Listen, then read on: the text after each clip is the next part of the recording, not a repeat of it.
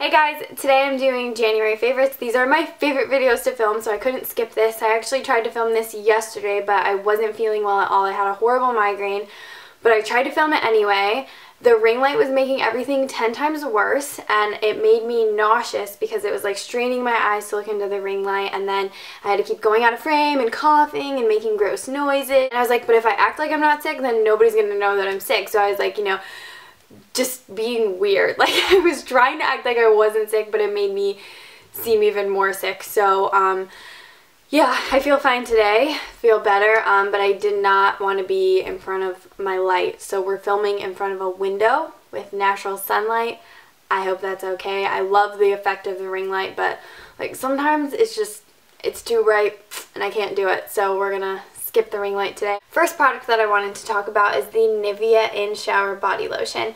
Originally, my grandma bought one of these bottles for my sister because my sister is just like me. She's like this dry, scaly creature and has horrible dry skin, just like me. Um, so my grandma bought this for her and I saw it in my sister's shower and then I used it I was instantly impressed. Basically what this does is it forms a barrier on your skin and locks in the moisture from the shower. So you put this on in the shower. It's a really weird concept. You put this on in the shower, leave it on for like a minute to 30 seconds, and then you rinse it off. And then pat yourself dry when you get out of the shower, and it feels like you already have lotion on, but it's not sticky. So that's why I think it kind of like locks in the moisture from the water of the shower and then like puts that barrier on top and keeps you moisturized and hydrated. If you are extra dry like me, you will need to put on a little bit extra lotion on the parts of you that are extra dry. But really impressed with it. Kind of a really weird concept, but also really cool. And I've really been liking it. I keep it in the shower, use it every time I shower. I love it.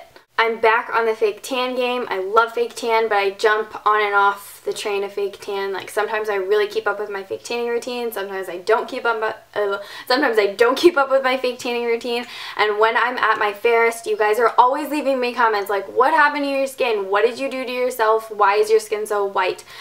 That's my natural skin tone. My natural skin tone is very, very fair. It's very yellow. Um, if I don't fake tan and I don't see the sun for months, then I go back to my natural skin tone like everybody else. And yes, it probably is a lot more fair than most of you guys would expect, but I do have really fair skin. It tans really easily, but when it goes back to its natural state, very fair. But now I have a fake tan on, and the fake tan that I've been loving is this Bare Minerals Faux Tan Body. This is a really nice, like, you went out in the sun for a day type of tan. It's nothing too dark, so if you're looking for something super dark, then this probably isn't for you, but if you're more fair and you want just like a fake tan that's going to look natural and nice, then this is so for you. I love this. This has a like really strong brown green undertone. You guys can see it's kind of that cola color. It is a lotion, so you can get away with applying with it with um, latex gloves, but I like to use a mitt just because I think that's the best application. Like I said, it's really natural, it's really nice, it's easy to use, so yeah. I've been loving this one this month. This is the Amore Pacific Tinted Moisturizer. It's the Moisture Bound Tinted Treatment Moisturizer. So it's a tinted moisturizer, but it has a fancy name on it. First of all, this smells exquisite. Like, it just has like the lightest, most beautiful fragrance to it. And this is now my holy grail tinted moisturizer. I love this because it sets. It's not completely matte. It still has like a radiant, I would say like semi-matte finish, but it doesn't stay oily, which is like my biggest gripe with tinted moisturizers. I hate how they just stay oily and even if you put powder on top of them, they don't look nice because the oils in the tinted moisturizer kind of like break the powders down and then an hour later your face looks oily and gross and I don't even have oily skin. I have pretty dry combo skin but more on the dry side and tinted moisturizers just don't work for me. So whenever I see people using like tinted moisturizers I'm just like how do you get away with that? Like how do you get it to look nice for a long period of time? Because I never can not anymore because I have this. This is a really, really nice tinted moisturizer. It's actually what I'm wearing today. I'm wearing tinted moisturizer. It's awesome. I think tinted moisturizer is the best option for me during the daytime. And I've fallen in love with this. Like this is seriously just because of the way it wears throughout the day. It's awesome. Through it, it's awesome and it's I love it. Is that the second thing I've dropped in this video? Do I have carpal tunnel from editing? If you've been following my channel for a while, then you know that I love my Becca Skin Shimmering Skin Perfector in Opal and I have the Champagne Gold one and I just like love those and I've been talking about getting Moonstone and I got it. I had a gift card. That was my way of justifying getting it and I love these Becca Shimmering Skin Perfectors so much. Like I think these are the best highlighting products I've ever used. Did I already tell you this one's in the shade Moonstone? I was rambling, but this is the Becca Shimmering Skin Perfector in the shade Moonstone. It's beautiful. It's a light, um, what do we want to call this? It's a light moonstone. I don't know. It's just like a light, you know, ivory. And it's not quite as intense as opal. It gives you like a gorgeous candlelight glow. It's what I'm wearing as a highlight today and it's what I'm wearing as a highlight underneath um, both of my brow bones. I've got some on the bridge of the nose, cupid's bow, chin, a little bit on the forehead. I just think these Becca powders are so buttery and pigmented. They blend out like a dream. You can put them anywhere you want. Like you could put them on your collarbones, your shin bones. Like these shimmering powders have multi-purpose, multi-functions, multi-purpose. They're really gorgeous. Best highlighters I've ever tried thus far. Next favorite is something that has changed my life and it is gel manicures. I got myself a gel nail light, so a UV light. This is gel manicure that I'm wearing right now. It is Red Carpet Manicure, Red Carpet Ready. Just like a classic red. The gel nails last through a lot. I've only had to deal with like two chips. I seriously love them. The only thing is when they grow out you do have like a little line of demarcation but that's fine that's whatever. My friend Megan and then my other friend Lauren were both like you need to get a gel manicure because it's going to change your life and it did change my life. Like once you go shellac you will never go back. It is so much more convenient and I know that UV lights are dangerous so it's not for everybody but if you guys would like a tutorial on how I do my gel manicure at home, then I will do that for you guys. This is the Zoeva 104 Buffer Brush. This is a flat top kabuki. I'm sure you guys have seen these before. You know what they are. It's just like a flat top kabuki, typically used for applying foundation and concealer, well, buffing out concealer, things like that. I have used this every day this month. My Beauty Blender is still brand new in its package, not even used one time. And I never ever thought that anything could ever take the place of my beloved Beauty Blender. I still love my Beauty Blender and I still think it's the best for applying foundation. But like, I've just been so in love with this that I haven't given my Beauty Blender any time. But I really, really like this. These Zoeva brushes, like they just feel so luxe and they have weight to them and the br bristles are so soft and the ferrule like it just this feels so luxurious when you're using it and you just have to barely graze the skin and it gives you a flawless finish there's no streaks it's not uneven it's just like a beautiful flawless finish soft and like it's so pretty. Zoeva brushes are so pretty. Like, are they not the prettiest brushes? Because I think they're the prettiest brushes. This next favorite is a brow gel. This is the L'Oreal Paris Brow Stylist Plumper Brow Gel Mascara. If you watched my brow routine, which I did in November, November, December, I did a brow routine. I was using Revlon Brow Fantasy. Wasn't in love with it. It was like kind of indifferent to me. I really like this though, and I think the main thing that I really love about this is the brush kind of like this mini cone.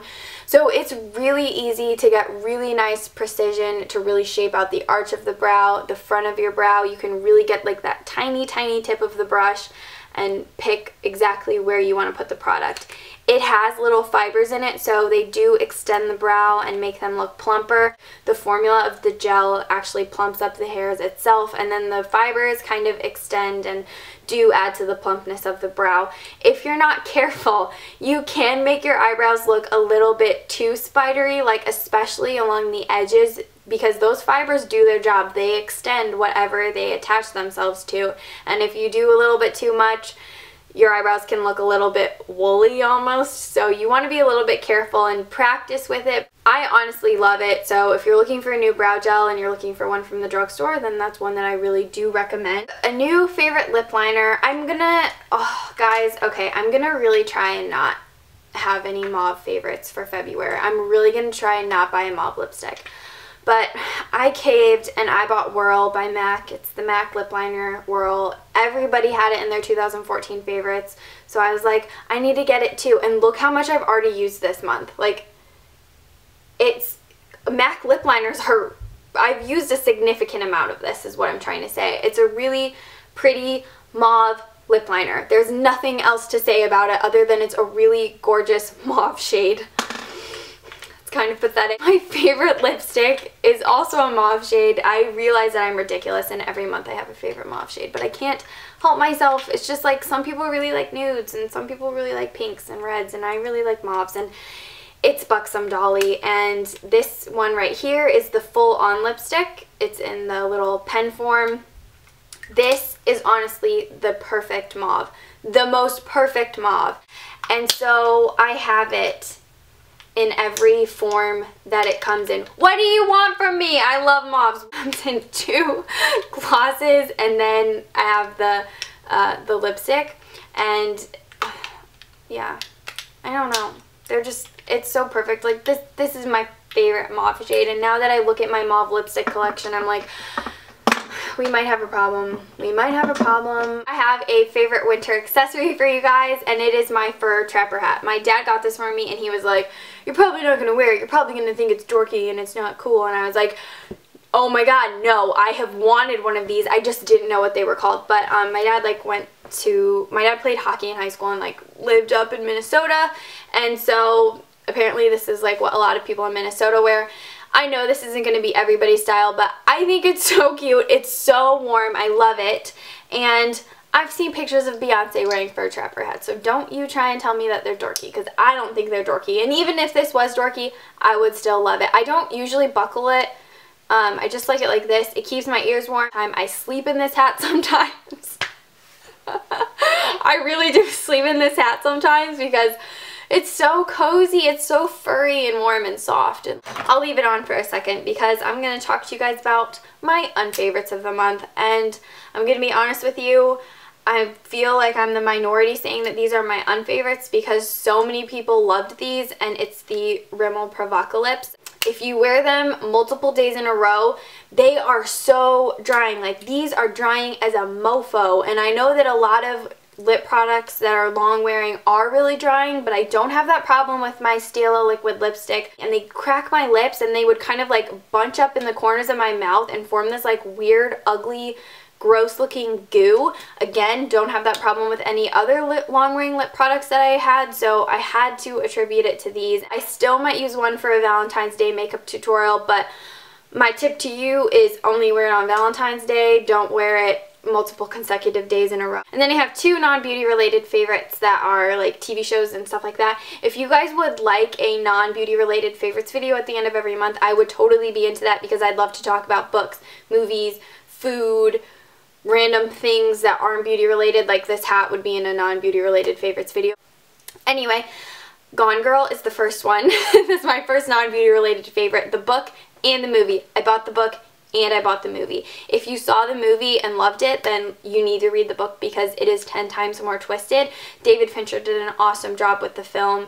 I love David Fincher though, so I'm really biased because I think that David Fincher can't do anything wrong and I love David Fincher. Like, I love David Fincher.